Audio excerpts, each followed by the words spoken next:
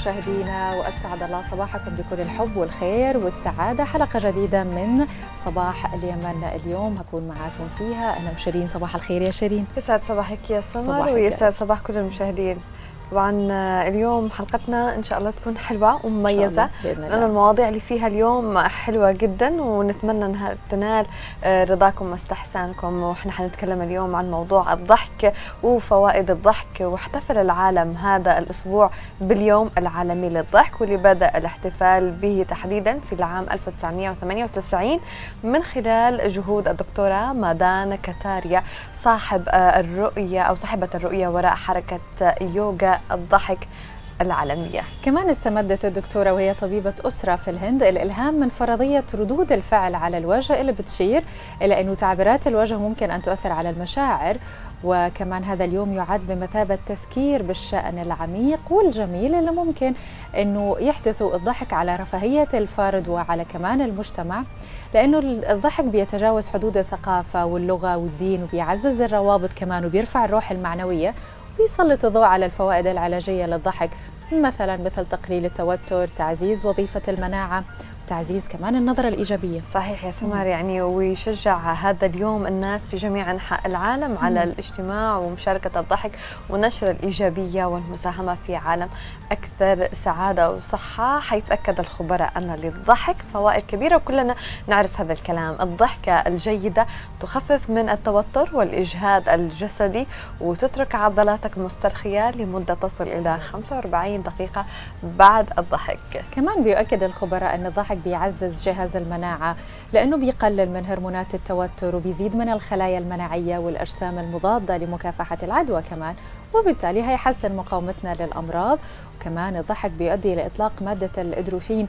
هي المادة الكيميائية الطبيعية اللي بتساعد الجسم على الشعور بالسعادة وبتعمل كمان هذه المادة على تعزيز الشعور العام بالرفاهية وممكن منها تخفيف الألم حتى لو بشكل مؤقت صح يا سمر يعني مم. وكمان في أشياء كثيرة إيه، وفوائد يعني الضحك يحمي القلب ويساعد على تحسين أيوة.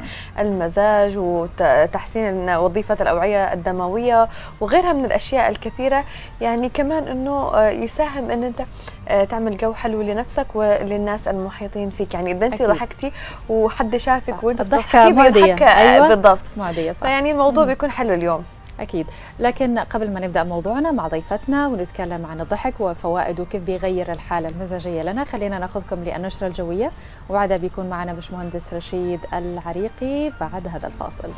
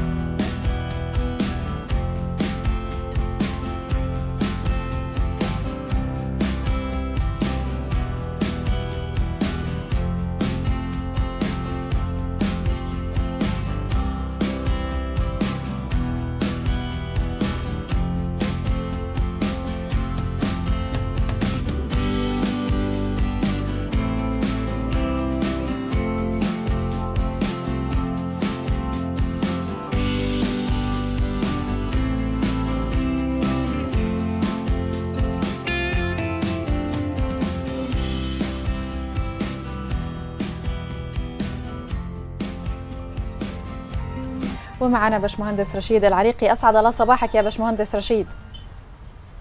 صباحكم بالخيرات والمسيرات في سماء شيرين الورد. وصوت البرنامج وجميع مشاهدينا الأكارم. يسعد صباحك. في اليومين الماضيين يا باشمهندس كان في استمرار لهطول ال- آه، الأمطار والسيول كمان في مناطق آه، عديدة من بلادنا. طبعا وهذا اللي أنت ذكرته في حلقة يوم الأحد آه، من التوقعات.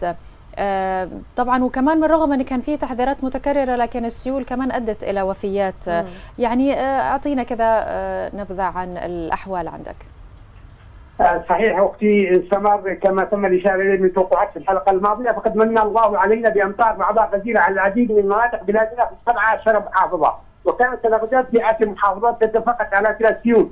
وذلك على معظم مديريات الوادي والصحراء حضرموت وعب ولحق وجنوب غرب سعد وشبوه والبيضاء. وبعض مديريات في طالع وريمة وكذلك هطلت أمطار غزيرة على شمال ابين وشرق وغرب زمان جعل الله سبحانه وتعالى أمطار خير وسقيا بركة.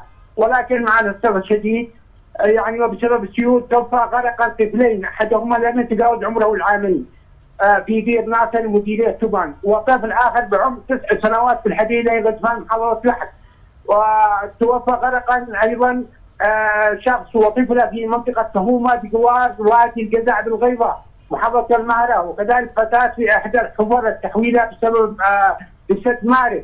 اذا هذه الوفيات كانت بسبب غرقا كانت بسبب تواجد السيول وأيضا الحفر التي تركتها السيول في مجاري الوديان. وبالتالي نحن دائما عاده ما نقدر من التواجد في الوديان أو بالقرب منها. آه ربنا يرحمهم ويغفر لهم وقد سجلت محطات الرصد الجوي ارتفاع في درجات الحرارة العظمى اثناء النهار في مطار سيوط 39 درجة مئوية وفي كتن الفريده 40 درجة مئوية.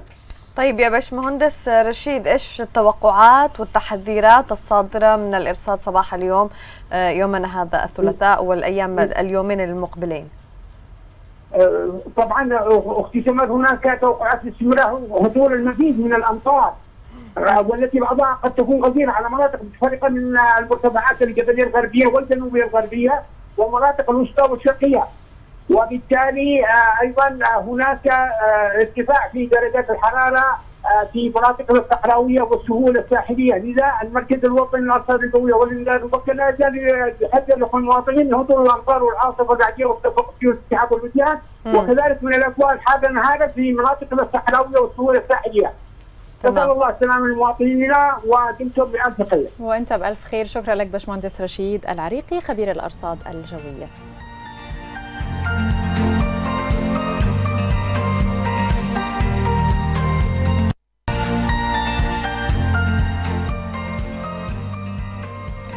مكملين معكم لسه ببداية حلقتنا للمشاهدين. وزي ما تكلمنا إنه اليوم يحتفل العالم ب أو احتفل في هذا الأسبوع باليوم العالمي للضحك وهي المناسبة اللي دائما نحصلها فرصة عشان نتكلم عن الضحك وأهميته وفوائده للجسم للحالة النفسية للأفراد والدراسات طبعا كثيرة وتحدثت عن أهمية الضحك والفوائد الصحية. والحقيقة إنه الضحك أصبح ضرورة في ظل ضغط آه، المحيط اللي حولنا من الشغل من الدراسة والحياة سواء على الكبار أو على المراهقين اللي طبعا أكيد بيعانوا من تقلبات مزاجية. طبعا خاصة عشان الامتحانات هذه الفترة أكيد. عن الضحك وأهميته وإيش اللي ممكن يعود على الفرد وعلى أسرته والمحيطين والمجتمع وزملائنا. من خلال الابتسامة البسيطة ومن خلال كمان تعاملنا مع الآخرين. هنتكلم مع ضيفتنا في الاستوديو دكتورة بسنت شوقي استشاري الصحة النفسية. أسعد الله صباحك يا دكتورة. أهلا صباحك يا دكتورة بسنت أهلا وسهلا بكم. أنا اسمي بسنت فاروق. بسنت أهلا آه. أهلا. أهلا, أهلا يا دكتورة. يعني دكتورة إحنا من البداية وإحنا عاملين مقدمة كذا عن الضحك وعن الفوائد. كلمينا أكثر آه، واشرحي لنا فوائد الضحك. آه الضحك يعتبر من العلاجات اللي أصبحت دلوقتي آه من العلاجات التكميلية في العلاجات النفسية. يعني إحنا بنستخدمه في العلاجات النفسية كنوع من الوقاية وكنوع من العلاج. لما للنتائج اللي أظهرت الفوائد بتاعته. الفوائد بتاعته بتنقسم عدة أقسام. في أقسام بترتبط ارتباط مباشر بالحالة الجسدية وفي آه فوائد بترتبط بالحالة النفسية. بالنسبة للحالة الجسدية طبعا هو بيساعد على آه، ارتخاء للعضلات. يعني مثلا سبيل المثال إحنا لما بنضحك بنستخدم في في وشنا ثلاث عضلات لكن لما بنكشر بنستخدم 17 عضلة. آه. واو. آه. معلومة كبير. أيوه فعلا. فالضحك بيساعد على ارتخاء ال ال ال الوجه كمان يعني فاهم؟ وكمان بيساعد على توسع في آه، تدفق الأكسجين. الواحد لما بيضحك بالقهقهة بالأخص يعني بيصدر صوت فالرئة بت بت بت بت بتاخد أكسجين وبتطلع آه ثاني أكسيد الكربون فده كمان بيساعد على دخول الأكسجين للأوعية الدموية. آه بيساعد على من الناحية النفسية تحسين الحالة المزاجية. خصوصا ان أنت كمان دلوقتي قلتي الطلبة بتوع الثانوية العامة اللي داخلين أيوة على الإمتحانات. خليني أقول لك إن كانوا عاملين تجربة إنه جابوا مجموعة من من المراهقين وعرضوا على بعضهم آه، مقاطع كوميدية. وبعدين إدوهم قائمة من ال... من من تحتوي على 30 كلمة وقالوا لهم احفظوها. والمجموعة الثانية ما ادولهاش حاجة. وبعد أسبوع جم يسترجعوا يشوفوا آه، حالة التذكر لقوا إن المجموعة اللي سبقت الحفظ بمقاطع كوميدية كانت أسرع 20 بفارق 20% من المجموعة اللي ما شافتش مقاطع كوميدية قبل ال- الحفظ. فده معناه إن الضحك بيساعد على التذكر. كمان الضحك بنستخدمه كنوع من الوقاية من الاضطرابات النفسية زي الاكتئاب القلق التوتر. آه، بمعنى إن برضو نلاقي أكتر فئة ممكن تكون في الشغل بتاعها معرضة لل stress هم مثلا لو اخذنا فئة ال call center اللي هم في كل مكان هم اللي أيوة. بيتلقوا الشكاوى أيوه في ضغط صحيح في مكالمات ضغط طول ومكالمات الوقت. وكله بيشتكي يعني مفيش حد بيتصل يشكر في في الخدمة إلا لما يكون عنده مشكلة فلو إن بعد فترة لو إن اللي بيشتغل الشغلانة دي آه، بيغيب كتير عن الشغل أسباب مرضية آه، مش تعبان مش قادر يجي الشغل أيوة. لو إن الضغط النفسي اللي بيمارس من خلال طبيعة الشغل الشغل آه، بيأثر عليهم فعملوا حاجة بسيطة جدا مم.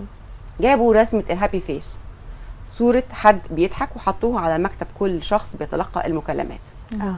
لقوا إن في تحسن في الحالة المزاجية أنت مجرد ما بتبصي لشخص بيبتسم طبيعي بتنطبع على وشك صحيح. تعبيرات الابتسامة. أيوه. وخلينا نقول إن إحنا في ال- في السيكولوجي بنقول عندنا حاجة اسمها التعديل المعرفي السلوكي. أحيانا السلوك بيسبق المعرفي يعني إيه؟ يعني ما استناش لما يجي لي مزاج عشان أضحك. لأ أنا أضحك وبعدين هو هيعدل. المز... ال- الأفكار بتاعتي. أيوه صح. طب أضحك كيف؟ يعني أضحك آه، إزاي؟ هقول لك إزاي. يعني أوقات أحيانا آه، تحسي إنه آه، الجو اللي حولك ما فيش حاجة تضحك ما يساعدش، الان أيوة. اللي بيسمعونا يقولوا إحنا كيف نضحك؟ يعني نضحك أنفسنا مثلا؟ هقول لك إزاي. خليني أقول لك إنه في طبعا في في الثقافة ال- الأمثال الشعبية كان دايما يقول لك إيه؟ الضحك من غير سبب قلة أدب. آه. لا دلوقتي الضحك خلوه رياضة. رياضة الضحك. علشان ما يبقاش ضحك من غير سبب. مم. من كتر الفوائد اللي ممكن بتعيد على الشخص. وأنا في آخر ال- اللقاء هقول لكم على وصفة آه يعني توليفة كده اللي هيمارسها آه هيضمن إن هو يعني يتجنب معظم الاضطرابات النفسية. النفسية. ففي رياضة الضحك في يوجا الضحك. بمعنى إنه مجرد أنت ما تبدأي إنك ترسمي على وجهك ابتسامة. العقل بيترجم على طول الفعل ده. وبيبدأ يتعامل معاه. بيتعامل معاه إزاي؟ يدي أوامر على طول للغدد إن هي تفرز هرمون الإندورفين. هرمون الإندورفين ده يعتبر من الهرمونات ال- ال- المسكنة للألم. يعني من عائلة الإندورفينات ال- ال- زي ال- ال- المورفين الكوكايين كل ده أيوه مسكن مسكن فالإندورفين بيتفرز بمجرد ما ال ال ال الإنسان يرتسم على وشه ابتسامة. إحنا بنحفز ده إزاي بقى؟ إن إحنا بندرب الناس مثلا نقول لهم إيه؟ خليك مركز قوي إيه الحاجة اللي بتضحكك في ناس تضحك على ضحكة الأطفال الصغيرة. أو على ال- المواقف الكوميدية مثلا أيوة. أيوة. ما بين مثلا الحيوانات الأليفة أو ما بين أيوه الفيديوهات اللي بنتابعها على النت. آه. اعمل نفسك قائمة كده. إن أنت تكون عارف إيه الحاجة اللي بتضحكك.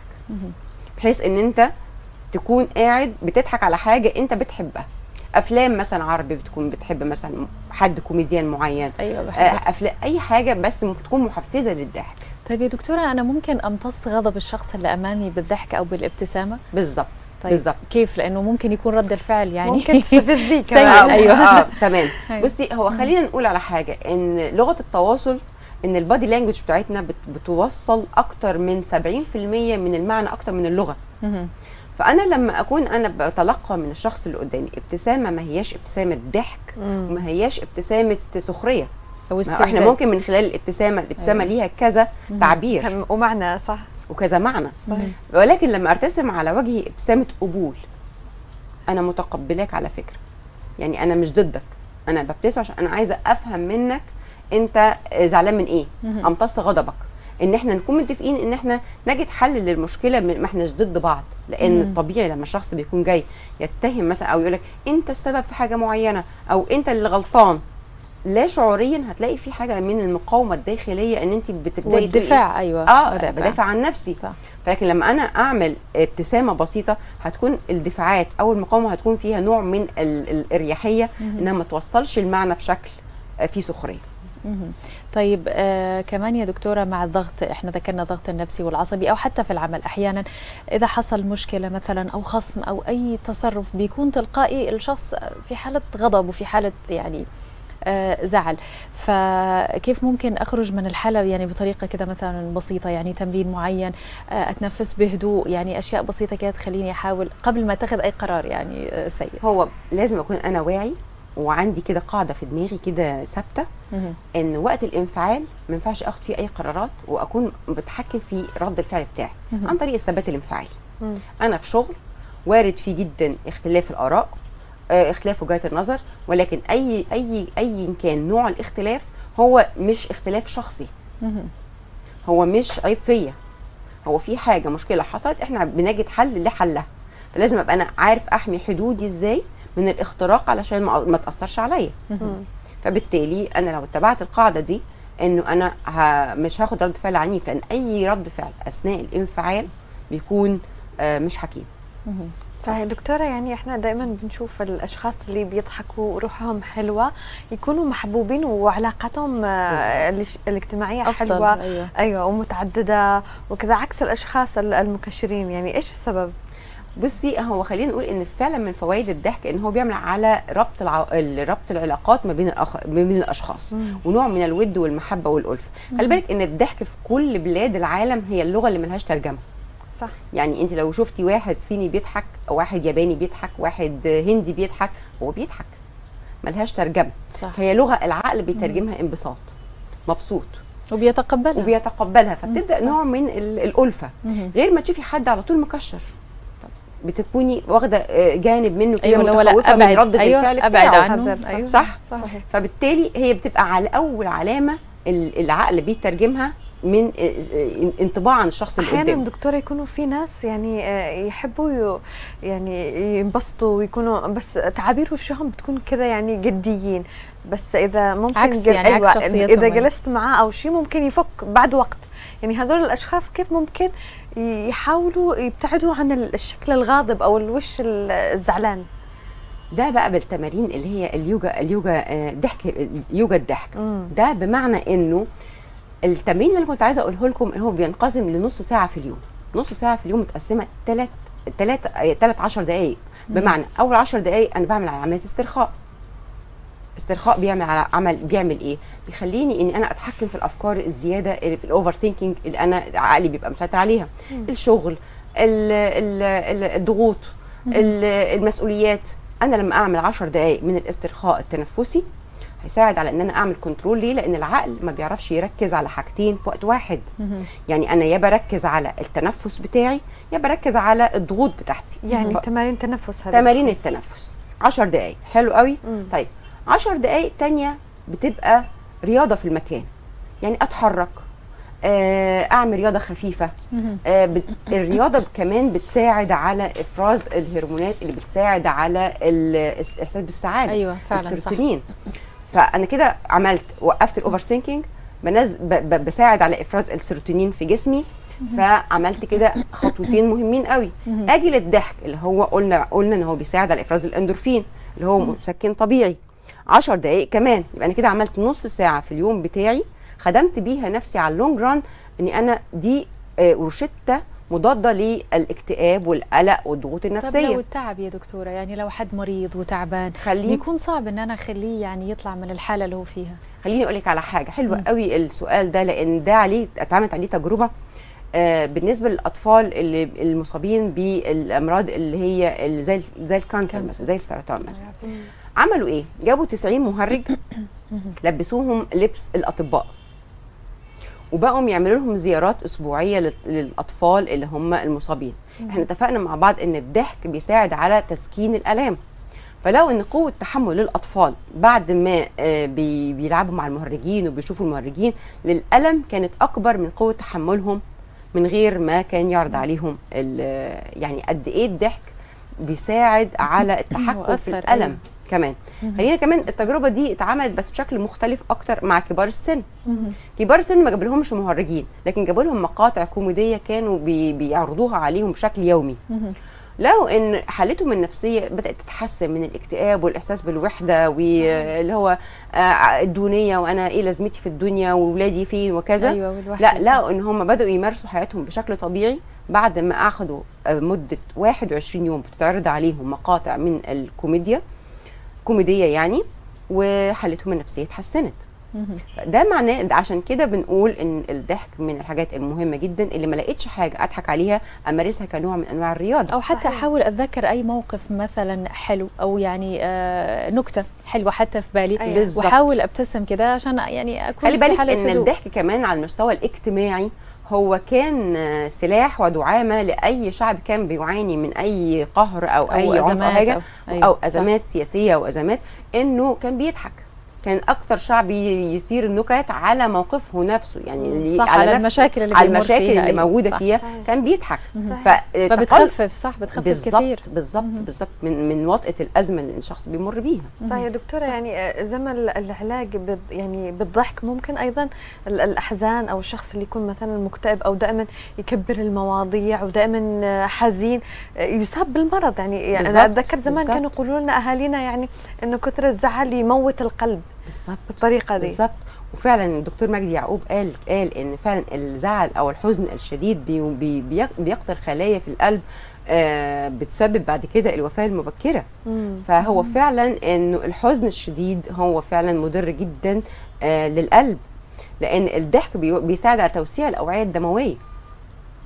فلا يعني الضحك من من الأهميات إن إحنا نمارسها حتى ولو بشكل رياضة. يعني مش شرط مثلا إني أنا انتظر لما يجي لي أيوة. موقف يضحكني آه. لا ده أنا حريص إن أنا 10 دقائق في اليوم أنا بخش خلي بالك من حاجة أنت لو بصيتي للطفل وأنت ماشية في الشارع مثلا وابتسمتي أو هو. ابتسم تلقائي أيوة. هتضحكي واليوم كله بيختلف واليوم كله والله. هيختلف صح هو بالظبط كده إن إن الإنسان لما بيبدأ يومه بابتسامة اليوم كله بيختلف صحيح. حتى الأمثال الشعبية برضو آه، الثقافة الشعبية آه، يعني لا تخلو من الضحكات. يعني كانوا. مثلا يقولوا اضحك تضحك ليك الدنيا. صح. أيوه طب ولو صح. كشرت هتبكي لوحدك. صح. صحيح. صح. يا دكتورة أيوة، صح. يعني قبل ما نخلص معك ال- ال- ال- الحوار الحلو ده عن الضحك خليتينا نضحك. يعني إيش نصيحتك لي للناس؟ يعني آه، للجمهور اللي بيسمعنا. آه، يخلي ال- الموضوع ده فعلا روتين آه، روتين. أيوه روتين يومي، في يوم. تفاصيله صح. بس هقول لك على حاجة. مش معنى الإنسان بيضحك إن هو سعيد. مش شرط يعني لا، مش شرط أضحك مش عشان أنا. مبسوطة وسعيدة لا خالص انها مرتبطة إن أنا في إنجازات في ناس خايفين. يضحكوا عشان يخافوا من الحسد يعني والناس تحسدهم أيوه إنهم مبسوطين عايشين أيوه حياتهم ما عنديش مشاكل خلي بالك. لا بالعكس الضحك مش علامة على إن خلو من المشاكل لأن مفيش إنسان على وجه الأرض ما فيش هو عنده يخلو مشاكل. من من من. مواقف آه، حياتية إنما الناس تخوف حتى تضحك يعني عشان ما تفتهمش إنه هو مبسوطة وسعيدة. لا. فصاروا الناس مش. معنى الضحك خالص إن أنا أستنى لما أبقى سعيد وأبقى عندي كل الرفاهية وكل الحاجة اللي كله تمام بيرفكت وعشان أضحك. لا أنا أضحك وبعد كده الحاجة هتبقى كويسة. آه. ليه؟ لأن الضحك معناه إن أنا مريت بصعوبات كتيرة قوي. وطلعت منها بسلام وقادر على إن أنا لازم قادر. على لازم آه. أدرك إنه صح. الضحك ده علاج أنا لو ما أضحكش أو ما عودش نفسي على الضحك عشان كده بتعب نفسي من غير ما مستقبلاً أركز ب- وصحتي. بالظبط. آراء ما. استناش المشاعر ما استناش المواقف تتحسن عشان أضحك. عشان كده بقول لو 10 دقائق في اليوم أنت بتحفز هرمونات تساعدك على تسكين الألم صح. على الحماية والوقاية من الاضطرابات النفسية. آه على تزويد المناعة في جسم الإنسان مم. كل الحاجات دي كلها بس 10 دقائق ضحك صح يا بسيطة دكتورة. صح يعني آه، وبعدها بيكون يعني في ناس ممكن ساعات تكون حزينة لكن آه. الضحك هو اللي يكون أقل عن. طريق صح. لستة كده بيكتب. فيها كل الحاجات اللي صح. هو بيحب يتفرج عليها بتثير أيوة. أيوة. الضحك بالنسبة له ويرجع عليها كل يوم يبص عليها random كده هتفرج النهارده على مشهد كوميدي للأطفال آه فيلم بيعجبني موقف بيضحك أكلم أحد من أصحابي ما بكون مبسوط معاه وبيضحك بس يعني هنا آه ممكن يعني يعني صح، في بالظبط بس. ما يكونش في في شكوى لا، الواحد أكيد، لا. يصحى الصبح يقرأ أذكاره آه، يسمع مزيكا حلوة يشرب الكوفي. آه، أشياء بسيطة تخليه مبسوط صح تشعر. بالسعادة. دكتورة بسنت فاروق استشاريه الصحة النفسية أشكرك جزيل الشكر على حضورك هنا. معنا وعلى معلوماتك. الحلوة شكرا على. ابتسامتك الحلوة. ميرسي على ذوقكم شكراً. شكرا. آه، مشاهدينا خلينا ناخذكم لفاصل قصير ونرجع نكمل حلقتنا. خليكم معنا.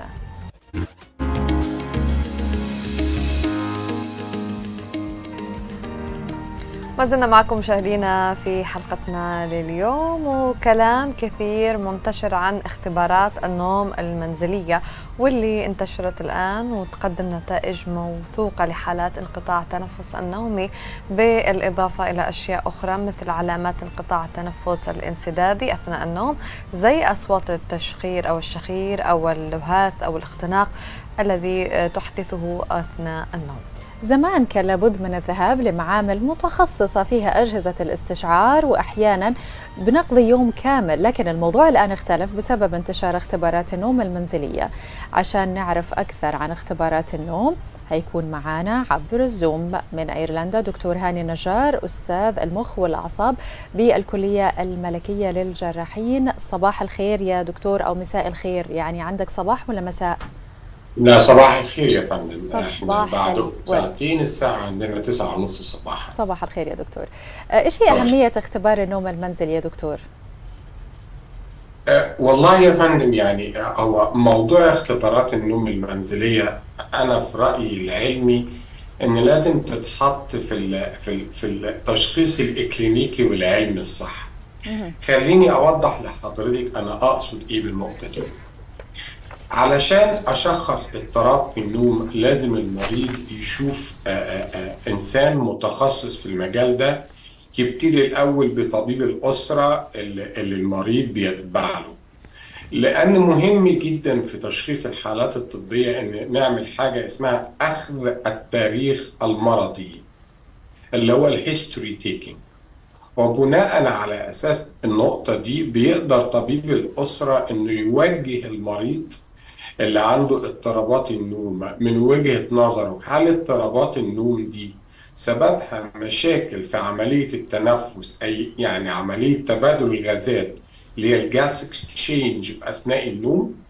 ولا سببها مشكلة تانية في ميكانيكية النوم المرتبطة بالمخ؟ وده يا فندم بيتم عن طريق بعض الأسئلة ومن الحاجات المهمة جدا في النقطة دي إن بنعمل حاجة بنسأل المريض يعمل حاجة اسمها ال sleep diary إن هو يكتب آه، آه، لفترة أسبوع أو أسبوعين قبل ما يراجع المتخصص آه، جودة النوم بتاعه. أسئلة سهلة مثلا زي إيه جودة النوم بتاعك؟ أنت لما بتنام بتنام الساعة كام؟ بتصحى الساعة كام؟ هل بيحصل في اضطرابات في النوم في الفترة دي ولا لأ؟ شريك حياتك اللي موجود جنب منك هل في حركة أثناء النوم؟ هل في كلام أثناء النوم؟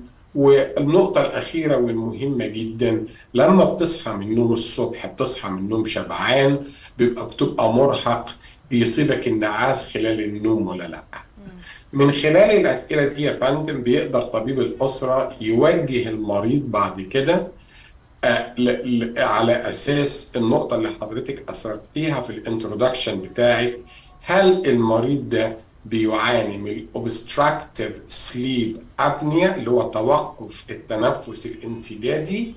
ودي حالة بتبقى مرتبطة بالجهاز التنفسي ولا عنده مشاكل أخرى اللي هي مرتبطة بالمخ وتنظيم دورة الاستيقاظ والصحية طيب يا دكتور هاني إيش يعني انقطاع التنفس الانسدادي النومي وايش الأعراض اللي بتكون على الشخص إذا كان يعاني من هذا ال- ال- الشيء؟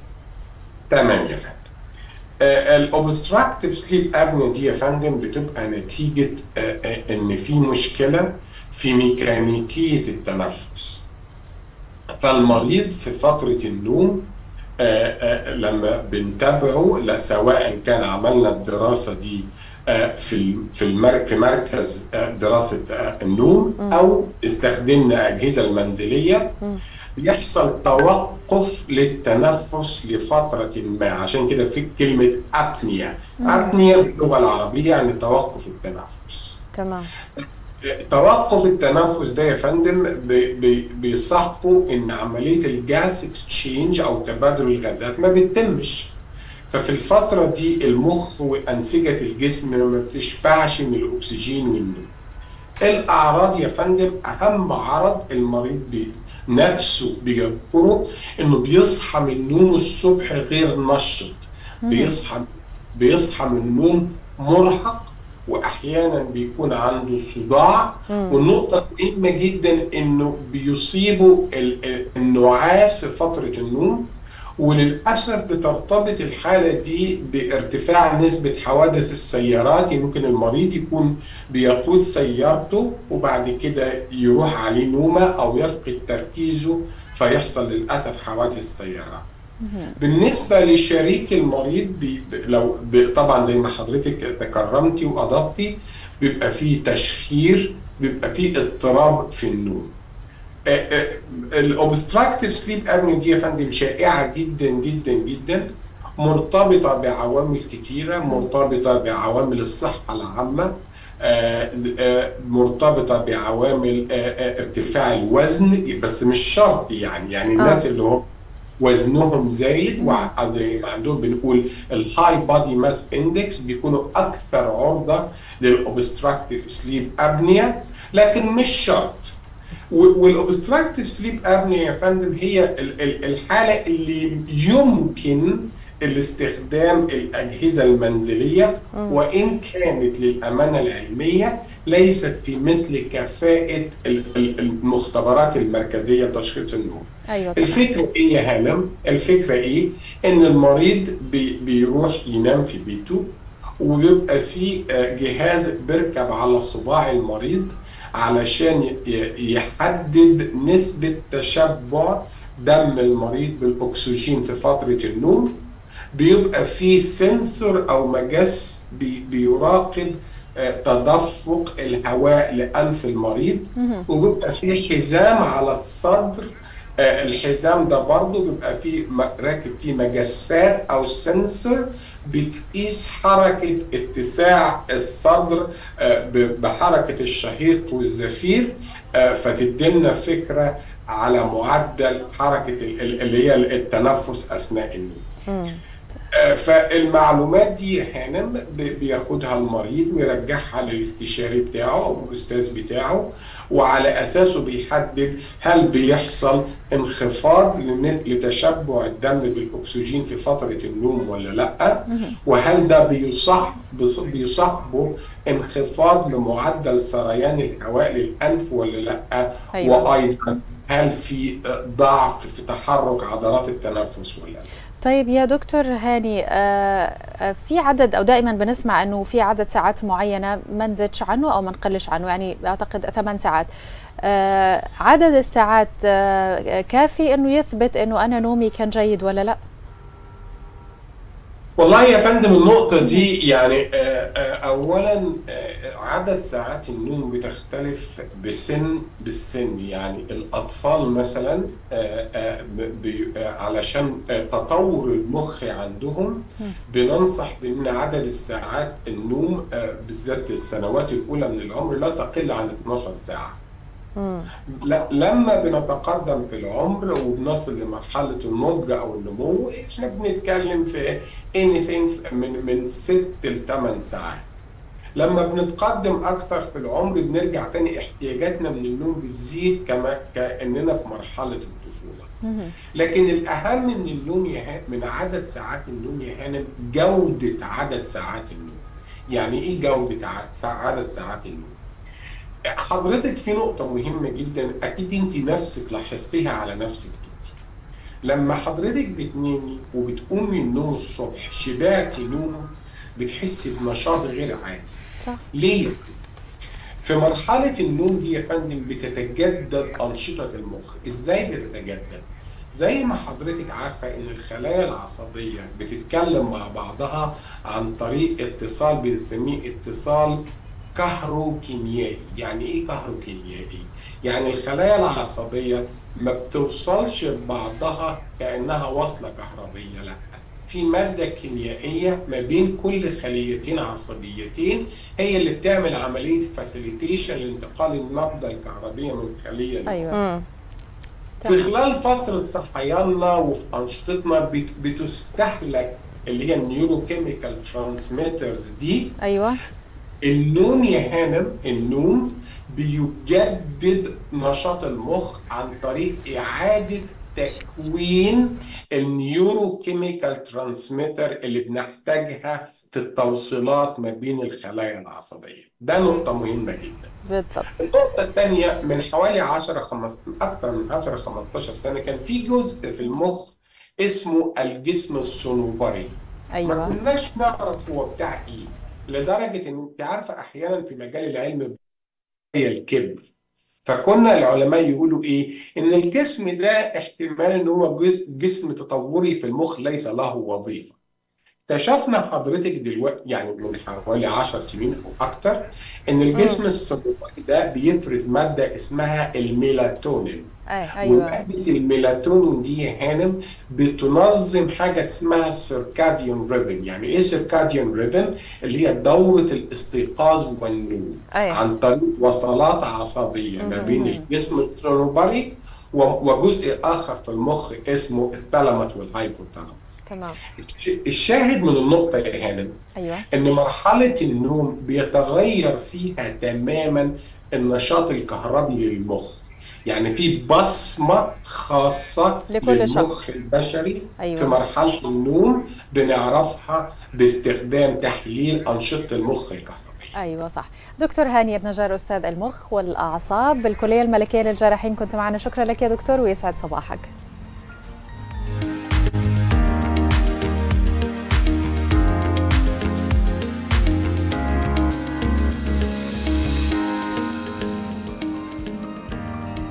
نبدأ جولتنا مشاهدينا حول العالم من سنغافورة من فندق غريب اتكلمت عنه صحيفة ديلي ميل البريطانية وقالت إنه يشبه آه، لعبة آه، إحنا قلنا اللعبة إيه؟ جينجا أيوه جينجا آه، أو جينجا الشهيرة.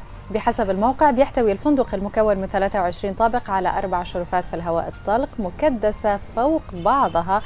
البعض وكل منها مصمم للتكامل مع الطبيعة. أحد الطوابق بيشبه الآخر وبيحتوي على حمام سباحة.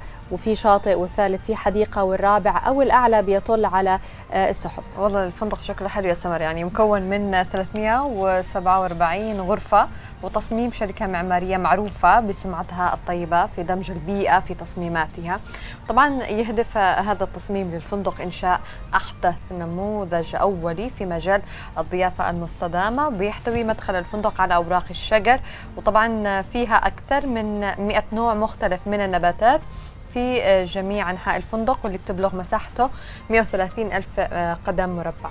آه، الفندق بيطل على بركة صديقة للبيئة مليئة بالطحالب وشلال عملاق وبيوجد كمان تراس واحد في الطابق الخامس وبيرتدي النزلاء ساعة لفتح الأبواب بدلا من المفاتيح وبيتم ري النباتات اللي بتغطي تقريبا أكثر من آه، 300% من مساحة أرض الفندق بمياه الأمطار آه، الطبيعية المجمعة وما فيش أي تراسات مكيفة ولكن بدل من ذلك بتساعد النباتات على تبريد ال- البيئة والغرف أو غرف الضيوف بتحتوي على نوافذ زجاجية سميكة آه، معزولة عشان تحافظ على الحرارة والبرودة داخل الغرف. وبالنسبة للأسقف يعني مزودة بألواح شمسية تولد طاقة كافية لتشغيل المناطق العامة وبتحتوي قائمة المشروبات على كوكتيلات ذات طابع نباتي وقائمة الطعام اللي بتقدم بالمطعم. تحتوي على أكلات صحية 100% يعني بصراحة فندق رائع. أصلا المنطقة سنغافورة هي أصلا آه، الطبيعة آه، فيها طبيعة حلوة. حلوة. وبلد جميل. وتخيلي يعني كذا آه، بيهتموا بالأشجار لون الأشجار بيهتموا. ففي في كل أمور حياتهم على يعني فكرة في اللبس وفي يكون الأكل يحب يروح الفندق ده خصيصا عشان المناظر, المناظر. الحلوة وال وال relaxation والأشياء أيوه. الأشياء الطبيعية من سنغافورة إلى لندن وتحديدا إلى الأسرة المالكة آه، حيث اتهم أحد الخبراء الملكيين الأمير هاري بالتصرف مثل الضحية بدل من الفتى المدلل الغني. وقال المعلق الملكي توم كوين خلال إحدى مقابلاته الأخيرة مع صحيفة ميرور إنه بيشعر إنه بعد كل ما حدث له يجب عليه دائما الحصول على ما يريد سواء كان ذلك ضمان بيدفع دافع الضرائب البريطاني أو منزل فاخر في المملكة المتحدة. كمان كوين قال بالنسبة للكثيرين هاري مجرد طفل غني يتصرف مثل طفل مدلل. وطبعا هذا قبل ما يضيف أنه هاري بيرا نفسه الضحية. طبعا على جانب آخر أكد الأمير هاري دوق ساسكس رسميا في وقت سابق أنه أصبح الآن مقيم في الولايات المتحدة ويقال أن هذا الاعتراف يسلط الضوء على تباعد الأمير المتزايد عن بريطانيا بعد أن انسحب هو وزوجته ميغان. آه، آه، دوق أيضا من الواجبات الملكية قبل أربع سنوات. طبعا هذا آه، يعني الأمير دائما اشاعات وراء دائما مشاكل عامل مشاكل ولا لا يا سمر؟ لأنه يعني ابتداء من زواجه بزوجته يعني وبعد ما المشاكل أيوه بعد ما خرجوا من ال من ال تمرد يعني كان كذا صاير أيوه تمردوا على الأسرة الملكية وهم مش متعودين على هذا الشيء. فأكيد بيلاقي انتقادات واسعة. أكيد. وهو كمان شخصيته فيها الكثير على فكرة من المشاكل والتعليقات عن شخصيته وعن تفكيره. ودائما على فكرة في كل بيت أو في كل منزل لازم يكون في شخص آه، عنيد. مخ... عنيد ومختلف. صح. حتى يعني إذا كانوا في بيئة بسيطة يعني بيئة متوسطة أو في بيئة مش شرط يعني غنية. إنه بس العائلات الملكية بتكون آه، بطريقة ملتزمين معينة أيوه ملتزمين بتفكير معين الموضوع ده إنه أي أسرة بتلاقي إنه في آه، فرد في الأسرة كذا مختلف أو شخصيته ثانية أيوة. فده شيء طبيعي بتحصل بين كل الأسر لازم. خلينا ناخذكم مشاهدينا كمان لموضوع آخر بيتعلق بمستحضرات التجميل والمظهر المثالي اللي هو حلم كل السيدات. وطبعا اللي بيجعل البعض يلجأ في بعض الأحيان لوصفات طبيعية والبعض الآخر لمستحضرات تجميلية وآخرين بيلجأوا مم. إلى مستحضرات بعيدة تماما عن الأطباء. بتكون من صفحات مجهولة المصدر. طبعا في الحقيقة بنشوف كثير من الأشياء اللي بتظهر لنا آه، ومن وراءها رغبة في الحصول على شكل جمالي مناسب. لكن أحيانا بنحس أو نكتشف أن إحنا وقعنا في فخ آه، بعد استخدام آه، أشياء للشعر مثلا أو لتفتيح البشرة أو غيرها من الأشياء الأشياء اللي بتمثل خطر على آه، بشرتنا وعلينا. وهذا اللي بنعرفه اليوم مع ضيفتنا عبر الزوم من دبي الدكتورة إيناس موسى اختصاصي جلدية وتجميل. يسعد صباحك يا دكتورة إيناس.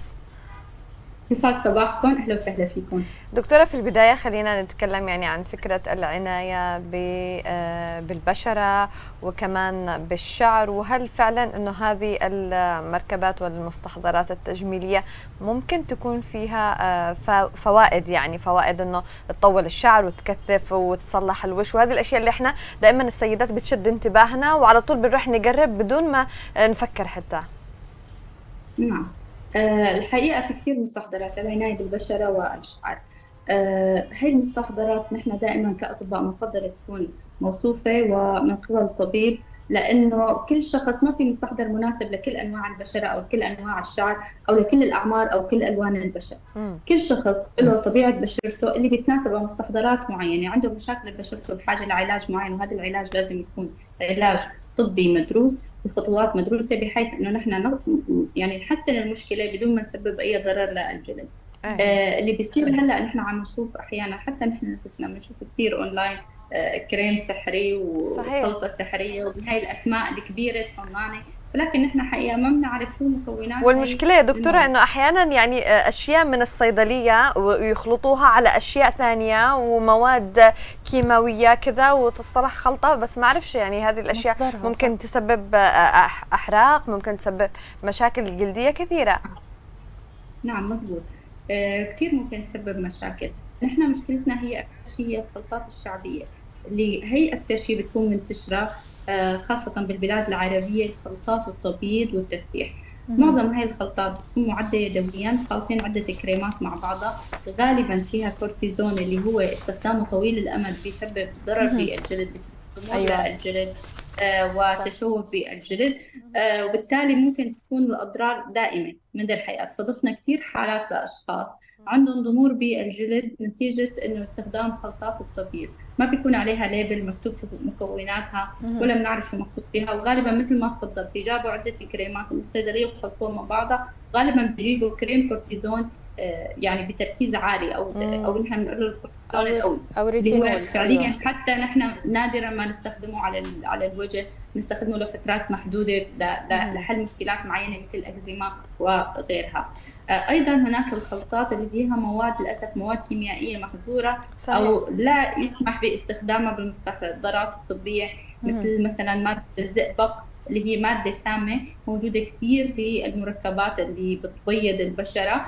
آه، لأنه بالبداية هو بيعمل نوع من الشحوب للجلد فبالتالي السيدة بتفكر إنه بشرتها تفتحت وتبيضت فعليا لاحقا مادة الزئبق بتترسب بالجلد وبتسبب لنا تصبغ آه، غامق مزرق آه، ما بيروح ابدا بولا علاج أيوة. فنحن بدل ما نكون حلينا مشكلة بنكون بالعكس أيوة. عملنا لنفسنا تشوه دائم. دائما ما له أي حل وغير إنه نحن عرضنا جسمنا لهي المادة اللي هي مادة سامه للكلى للكلية طيب يا دكتور ايناس الوصفات الطبيعية طيب اللي أحيانا بتلجأ لها السيدات. يعني عشان المستحضرات مثلا الطبية بتكون أغلى آه فبيضطروا مثلا استخدام الليمون خل التفاح مم. الأشياء اللي بتسبب تهيج في البشرة. فهل الأشياء الطبيعية مفيدة يعني للبشرة ولا لا؟ أه لخبرك هلا مو مثل ما الناس بتفكر إنه هي مادة طبيعية. إذا ما فادتني ما فيها ضرر. لا ممكن يكون في ضرر. لأنه نحن مثلا مادة الليمون المادة الفعالة فيها هو ال citric acid. ال citric acid هو نحن من أحماض الفواكه اللي بنستخدمه بالمواد المقشرة للبشرة. لكن طبعا بيكون متعالج و يعني معمول بطريقة ومصنع بطريقه ما يسبب حساسية للجلد بينما لما نستخدم الليمون ذات نفسه على البشرة كثير بتزيد فرصة الحساسية للشمس. يعني نحن هاي المواد لما نكون حاطينها على بشرتنا وباقي آثار منها ونطلع على أشعة الشمس ونتعرض لها احتمال كبير يصير عندنا شيء نحن بنقول له الحساسية الضيائية أو الأرج الضوئي اللي ممكن يسبب لنا احمرار وانتفاخ وتحكي بالجلد تحتاج لعلاج طبي. طيب فعلى عكس ما الناس بتخيل يعني أوكي بعض الناس ممكن يناسبهم وما تسبب لهم أي ضرر. طبعا كفائدة آه، طبية هي فائدة محدودة. ليش؟ لأنه هاي المواد ما مصممة لحتى يتم امتصاصها عبر الجلد. فبالتالي ما بتكون الفائدة كبيرة إذا في فائدة. ولكن ممكن فعلا يصير ضرر اللي هو الحساسية وتهيج البشرة. طيب دكتورة نروح لموضوع ثاني موضوع الشعر. يعني الآن في أشياء كثيرة آه، آه، منتجات وكذا بتستخدم لفرد الشعر بروتين أرجان كافيار أشياء كثيرة منها لعلاج الشعر. كيف كيف بتقيمي هذه الأشياء؟ هل فعلا إحنا بنسمع دائما إنه بتدمر الشعر على المدى البعيد ولكن النتائج في هذه الساعة يعني في في نفس الوقت يعني تكون مرضية. فكيف هلا في بعض المواد اللي هي بتستخدم لفرد الشعر وخاصة فرد الشعر ممكن ان هي تكسر هذا الشعر وعلى المدى الطويل طبيعي إنه راح الشعر يصير متعب ومرهق متقصف وجع فهذا الشيء آه، طبيعي جدا. كل هاي المواد اللي هي بتغير من طبيعة الشعر الغالب إنها هي مواد مضرة. بالنسبة لموضوع الزيوت مثل الأرجان مثل زيت اللوز أو الخروع هي مواد طبيعية ممكن تنحط على الشعر بتساعد إنه نوعا ما تغذيته ولكن ما هي علاج دائم أو سحري. لكن ممكن تعطي فائدة محدوده اذا حدا مثلا حابة تهتم بطبيعه شعرها آه، كل أسبوع تعمل حمام زيت هذا الشيء ما في أي مانع واي أيوة. ضرر منه. بس المواد مثل ما قلت لك الكيميائية القوية اللي هي بتحرق الشعر حتى أحيانا الصبغة بالمناسبة. الصبغه آه، استخدامها طويل الأمد خاصة الصبغات اللي فيها كثير مواد كيميائية كمان بتسبب حساسية وتهيج فروه الرأس ولا آه، أذية للشعر أيوة. فدائما نحن نحاول نختار إذا بدنا نختار شيء مواد طبيعية نوعا ما نبتعد عن المواد اللي الكيميائية. إذا بدنا نصبغ الشعر ممكن نلجأ للحنة الطبيعية آه، أيوة. وغيرها من هاي المواد فعلا إنها هي ممكن تحمي الشعر وتعطي نوعا ما رونق له طبعا إذا في مشكلة حقيقية مثل تساقط الشعر أنا ما بتوقع إني أنا أحط زيت على شعري وتنحل هي المشكلة.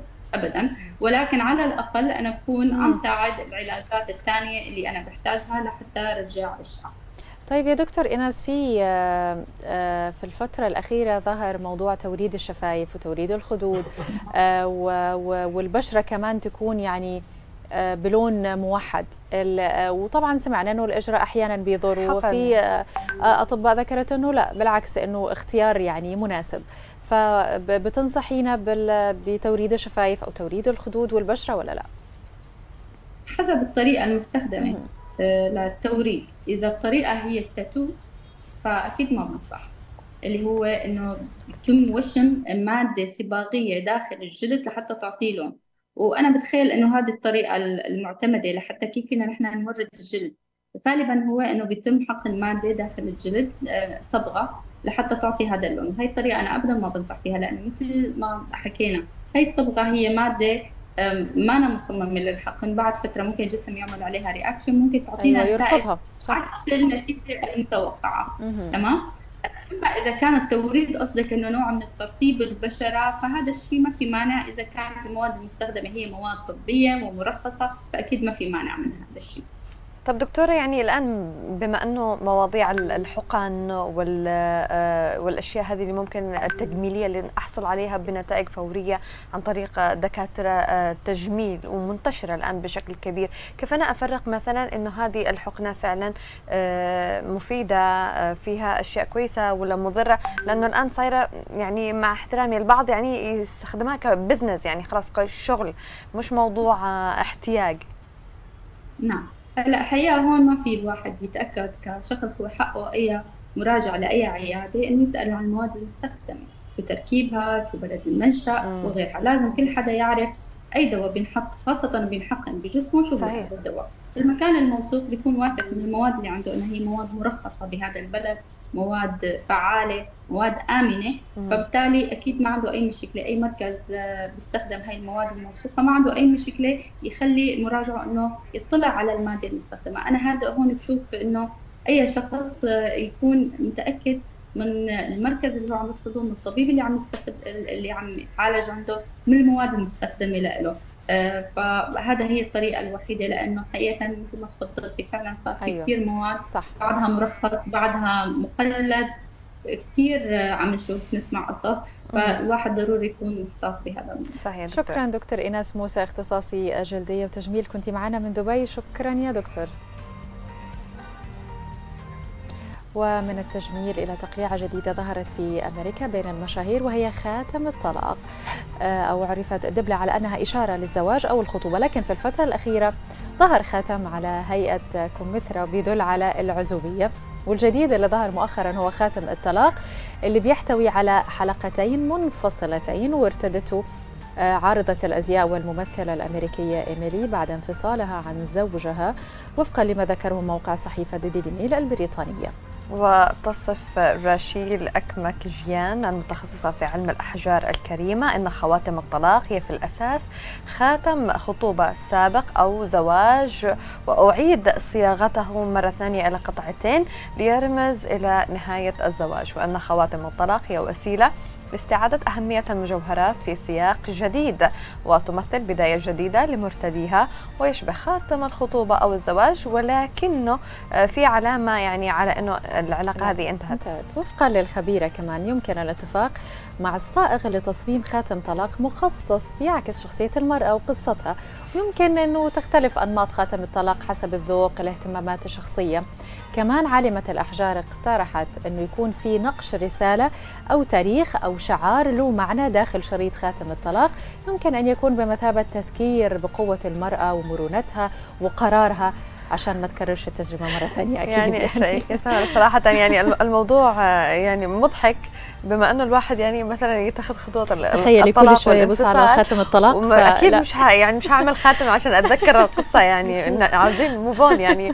فالقصة يعني آه، مش غريبة يعني عادي ممكن. تصنيفها معنا موضوع كمان ثاني ومفيد لكل من يشتري اونلاين الأغلب يعني أكيد كل الناس بتشتري تقريبا عن طريق الأونلاين وانتشر هذا الشيء بشكل كبير في آه، الآونة الأخيرة والتسوق عبر الإنترنت ولأنه ما يتطلبش وقت ولا مجهود آه، وبيوفر علينا الخروج وكل حاجة ويسهل عملية الشراء للمنتجات المطلوبة صورها مواصفاتها وكمان آه، إنه بيوصلوها للبيت. ولكن مع كل هذه البساطة هو يستهلك من البعض الكثير من الأموال طبعا واللي هذا الموضوع بيزعج البعض ويقرر من وقت لآخر إنه خلاص لا ما بشوفش هذه المواقع الإلكترونية مرة ثانية ولا بعمل أي تسوق اونلاين.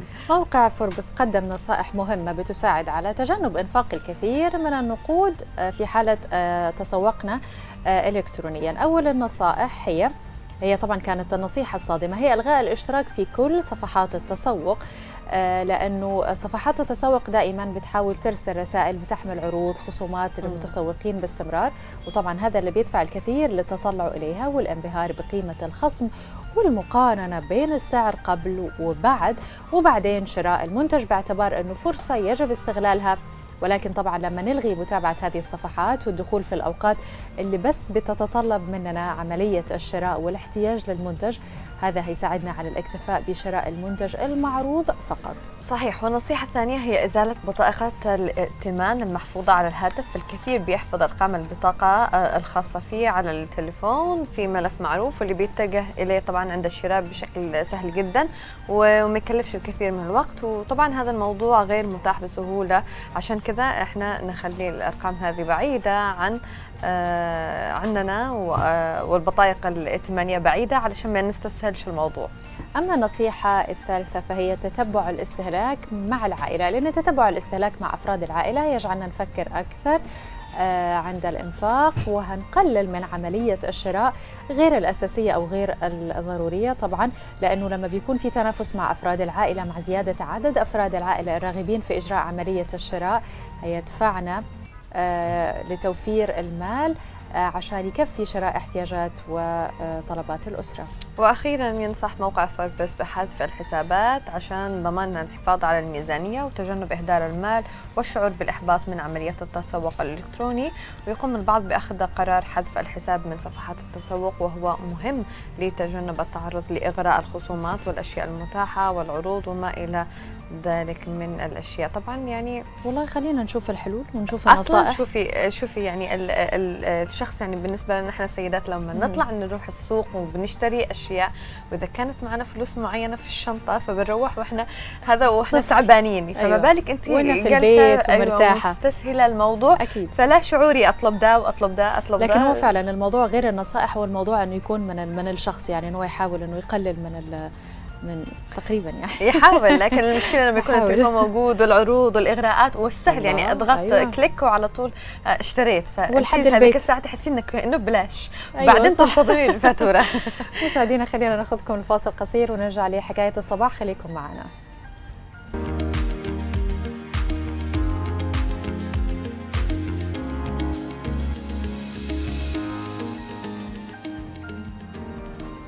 وصلنا مشاهدينا للفقرة الأخيرة وحكاية الصباح وحكاية اليوم مليئة بالمعاناة والتحدي والقوة والمثابرة. اللي جعلت صاحبتها بتحقق حلمها بأن تصبح أول مهندسة مدنية في منطقة ذمار بتقف وتشرف على مشروعات وتتابع العمل بكل جدية ووقار واحترام. معنا الآن عبر الزوم من ذمار المهندسة إجلال الكوماني واللي نجحت أنه تدخل مواقع العمل وتتحدى كل الظروف. يسعد صباحك يا إجلال وأهلا وسهلا فيك في صباح اليمن اليوم. تشرفت بالمقابلة معاكم. إحنا أكثر. آه ولي الشرف بالانضمام آه، إلى هذه المقابلة معك. أول مهندسة يمنية تلتحق بالعمل الموقعي في دمار. إيش رأيك بهذا؟ يعني آه، هذه التجربة هذه الكلمة كيف لها وقع على إجلال من داخل؟ آه، لها وقع على إجلال إني كسرت كثير القيود والقواعد التي حطوها لنا المجتمع كامرأة. إنه ما فيش مرأة تشتغل في العمل الميداني أو في مجال المقاولات بالأخص. صحيح. طيب هذا المجال يا إجلال آه، ما كان أكيد يعني كان في قلق خوف آه، كيف هتتعاملي مع العمال؟ كيف هت يعني هتتصرفي في في هذه الحالة؟ يعني ما كانش في خوف إنه كيف تدخلي هذا المجال؟ في البداية إنه آه، من أيام الجامعة أنا كانت عندي آه، وجهة نظر إنه أنا ما بشتغلش كأعمال مكتبية مهندسة مدنية في الأعمال المكتبية. لأنه أشوف إنه مش دائما بتكون نفس القاعدة والرول الكبير لكل البنات إنه أنا بكون مهندسة في المكتب. فبذلك أنا حاولت إنه أكسر هذه القاعدة وأخرج من الموقع وحتى من أيام الجامعة كنت دائما مبرمجة على نفسي إن أنا أول ما أتخرج بشتغل بالعمل الميداني. طيب يا إقلال يعني أنت أكيد كنت في في الجامعة وزي ما قلنا يعني كثير من البنات آه، في في اليمن يدرسوا قسم الهندسة وشطار بس يتجهوا إلى اتجاه آخر يعني هندسة مكتبي في المكتبة أو مكتبي كذا. فأنت أكيد كنت في الدفعة وكان عندك صديقات وزميلات. أكيد في كمان آه، ثانيات كان نفسهم يعملوا نفس الشيء وينزلوا ميداني ويحققوا الشغل يعني آه، بالواقع والدراسة اللي درسوها. بس إيش كنت تسمعي منهم؟ مثلا إنه آه لا إجلال أنت بتحلمي. هذا الشيء مستحيل. هذا الشيء المجتمع الناس الأهل. إيش أكثر التعليقات اللي كنتي تسمعيها؟ آه طبعا في أيام الجامعة كنت أنا واحدة آه، فقط. بين 300 طالب. يعني انت الوحيدة اللي كنت تفكري بهذه الطريقة يا إجلال إنك تنزلي ميداني ولا كان في بنات زيك كمان حابين ينزلوا؟ آه، كان في خريجة سابقة تقريبا كان قبلي بسبع سنين. آه، فأغلبهن هن ما اشتغلنش في العمل الميداني خالص سكرتارية أو في مدارس أو نزولات في آه، مشاريع صغيرة هكذا في قرى. بس إنه أنا ما حبيتش هذا الشيء إنه أنا أشتغل في في مجال مكتبي ابدا خالص. ففعلا واجهت انت بتلاقي مواجهات كثير من المجتمع خصوصا إنه مش متقبلين إني فتاة تنزل أيوة. آه مشروع تديري من الألف للياء تتعاملي انت مع ناس من طبقات يعني مش كلهم أكاديميين وفاهمين ويعني عارفين بإن انت امرأة وليش حق مثل الرجل. لا بدك تتعاملي مع يمكن واحد من العمال إنه لا متضايق إنه انت كبنت متوجهي لاعمل سوي هذا مش تمام فأنت تلاحظ إنه من المجتمع في البداية ثانيا من بيئة العمل نفسها بيكون إنه لازم أنت تفرضي وجودك إنه عملش أنت تكوني كفاءة. فهم خلاص هم بيحاولوا معاهم معهم بتغير النظرة. ولا هو في فعلا واجهت من الأهل حتى من الأهل يعني أهل الأب وأهل الأم إنه يعني بطبيعة الحال إنه إنه كيف بتنزلي؟ كيف بتختلطي مع الرجال؟ كيف كيف بتتعاملي مع الرجال؟ كيف كذا؟ وهذا الموضوع مش يعني مش مقبول. بالضبط. يعني طيب يا آه، جلال إيش كان أول مشروع استلمتيه؟ وكيف أخذتيه؟ يعني كيف آه، حاربتي علشان تاخذي أول مشروع؟ وتكسبي ثقة الجهة اللي حتعطيكي المشروع إنك فعلا واللي بيشتغلوا إنك قادرة تسيطري على الوضع. كيف سويتي؟ آه، طبعا كان أول مشروع آه، نزلته كان للتدريب فقط. كان في مشروع الدائري الشمالي. آه، فطبعا كنت أشوف المنشورات حقهم ينزلون على الفيسبوك. مدير المشاريع مدير إدارة المشاريع أنس عمران. كان ينزل وكان صديقي عندي في الفيسبوك. فأنا شفت إنه بعد ما تخرجت إنه ما يمكنش إن أنا أوقف لمدة سنة. خلاص أنا بحس بالتكاسل وما كان عندي شغف كبير. فاضطريت إنه اكلمهم كان معنا النقيب حق المهندسين النقيب محمد الخولاني. كلمته إنه كلم المدير إدارة المشاريع إنه ألتحق عندهم كمتدربة فقط. تمام. فلما انضمت معاهم كان شيء مختلف إنه أول بنت تشتغل معاهم أعمال موقعية خاصة في مجال الطرق. طيب كيف كان بيكون ردك يا أجلال مثلا على اللي بيشتغلوا معاكي اعتراضهم مع نظراتهم مثلا إنه كيف بنت يعني آه، هي اللي بتتعامل في آه، في في العمل الميداني. كيف كيف تصرفتي معاهم؟ كيف واجهتيهم؟ طبعا هي كانت كثير من المواجهات اللي واجهتها في آه، عوائق يعني تقولي من المجتمع نفسه. في بعض القيادات كانت يعني مش متقبلة اني في بنت تنزل موقع لأنه هذا الشيء بيشوف إنه كانت تكسري تحاولي تكسري عادات. فت شعب بينفتح نوعا ما. وطبعا كسر العادة يعني أصعب من إقناعهم بأي شيء في الحياة. أكيد. لما أنت تتواجهي مع حتى إنه في يعني في زملاء إنه بيعترضوا إنه لا بنت ليش تشاركنا في نفس الشيء؟ آه ويش على قولهم يعني العام يعني أنا ليش نقصد الرجال لما تنزل بنت تشتغل في موقع؟ أيوه. إيه. آه طيب يا جلال يعني على كل هذه التعليقات اللي أحيانا تخلي الواحد كذا يشعر بإحباط يعني ومع ذلك واصلتي. لكن في مثلا أوقات آه لما يكون في معارضة لشيء وبعدين يشوفوك نزلتي واشتغلتي كويس وكذا تتغير النظرة. هل حسيتي إنه مثلا آه في كونتي لك مثلا آه ثقة عند ناس أو تغيرت النظرة في منطقة معينة إنه لا والله يجي منها شاطرة ونوكلها عمل ثاني وثالث ويبقى منظرك يعني كذا ونزولك شيء طبيعي مع الوقت؟ آه هذا أكيد. طبعا أنا نزلت لسه مخلصة قبل ما فيش يعني هكذا حوالي شهر مخلصة مشروع كامل كنت آه مسكت المشروع مديرة مشروع يعني من الألف للياء أنا كنت متكفلة بالمشروع هذا في آه، المدخل الشرقي لدمام فأول ما جاني التكليف آه، من المدير حقنا اللي فعلا أوجه له كامل الشكر لأنه فعلا كان شخص داعمني بمئة في المئة. حلو. آه، ف آه، فهو لما جاب لي بالتكليف طبعا في منهم ليش تنزلها وما أدري إيش؟ حتى رئيس عندنا آه، بعض القيادات عندنا في المؤسسة أو المسؤولين في المؤسسة قالوا ليش تنزل أنت بنت من تاريخ المؤسسة 30 سنة؟ ما فيش بنت نزلت تشتغل بالعمل الموقعي. تخليها في المكتب يعني بدأت من هذا الكلام إنه شايفين طيب وبناء على إيش. بناء يعني بناء على إيش إقلال اعطاكي هذا المشروع يعني الثقة اشتغلتوا من قبل شاف شغلك أكيد ونزولك شغلي وحرصك لمدة سنتين.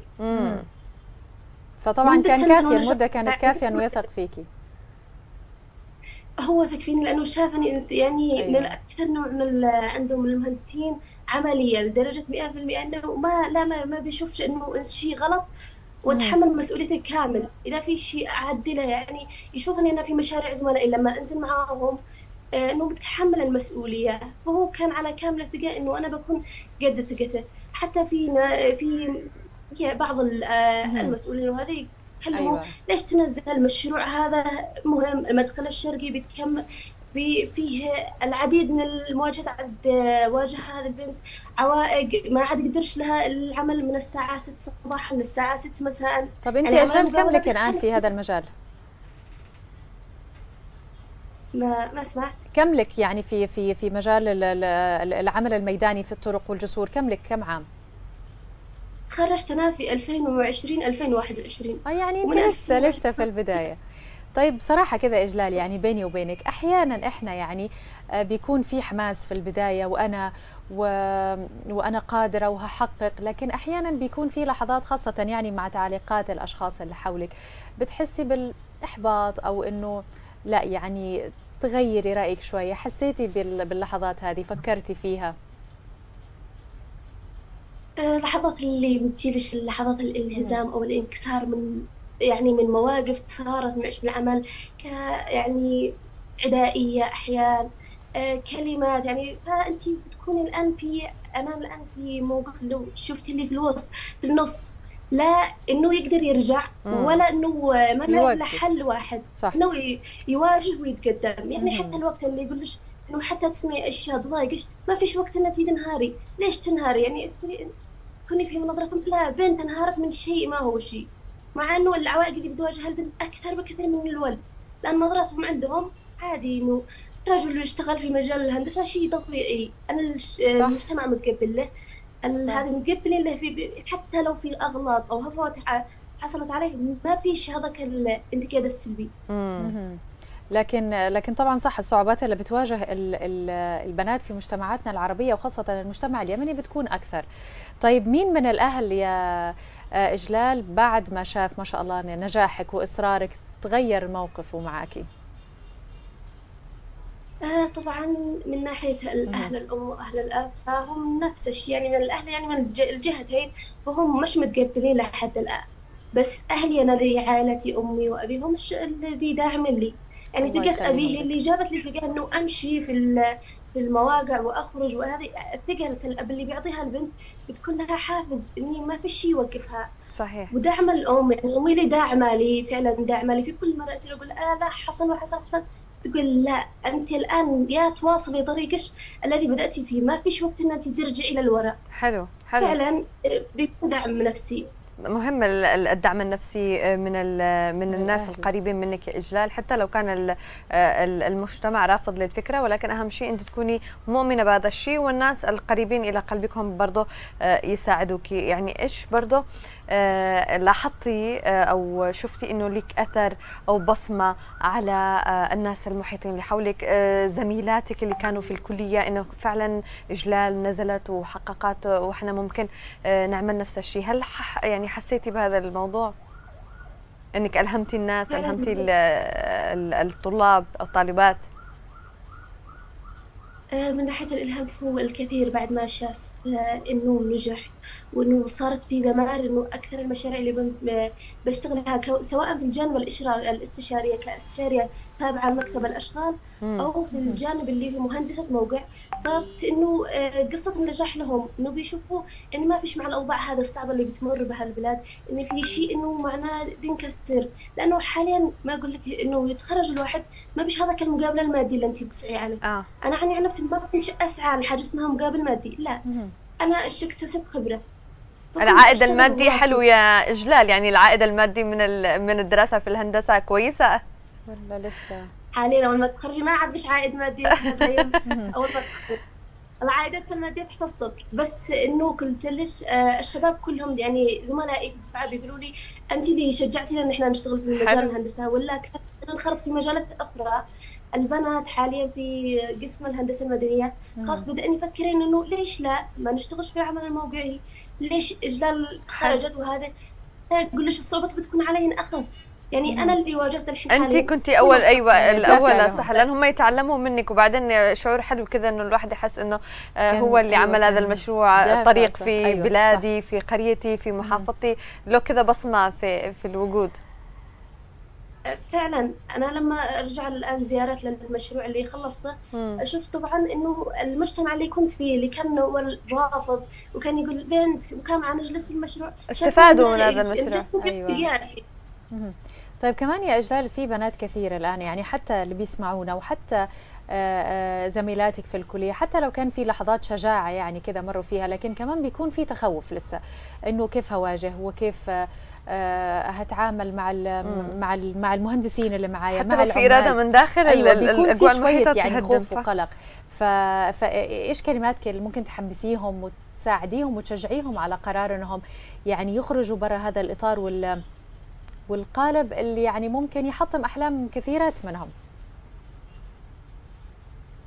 أنا أنصح يعني كل البنات إني تكون عندها الإرادة منها أن إذا توفرت الإرادة بتتسهلش كل الظروف ولو في معوقات بتواجهها أو شيء في تكون عندها الإرادة في البداية. يعني أنا أقول إنه ما كانش في هذاك الظروف الملائمة إني تخليني أشتغل في المجال الهندسة المدنية أو إني أشتغل آه، في مجال المقاولات. بس أي مجال ما أختصرش على الهندسة أي مجال وهي شايفة إنه في تخوف تحاول تكسر هذا الخوف تواجه. صح.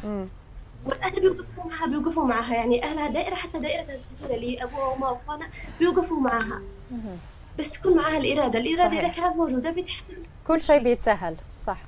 إجلال الكوماني كنت معنا من ذمار آه، طبعا إحنا بنحييكي. صح. آه ونتمنى لك التوفيق, التوفيق. والنجاح يا رب إن شاء الله. وتحقق كل الأشياء اللي تتمنيها. وأنا متأكدة بإذن الله مستقبلا لما بيكون عندك أولاد هيكونوا أبطال لأنه لأن أمهم أكيد بطلة. وفي بطلات إن شاء الله نعمل معك المرة الثانية إجلال مقابلة وانت تكلمينا كذا عن المشاريع الحلوة اللي عملتيها في دمار في المحافظات الأخرى مش بس دمار في كل المحافظات في اليمن وسعيدين فخورين فيكي وكل مم. البنات آه، اللي عندهم أحلام عندهم طموح وقادرين يعملوا بصمة في البلد. شكرا جزيلا لك. ألف شكر لك. شكرا يا إجلال. مشاهدينا وصلنا لختام حلقتنا. نشوفكم بإذن الله أنا وشيرين يوم مم. الخميس القادم. آه، دمتم في رعاية الله. إلى الملتقى. خليكم بخير. في أمان الله. نعم.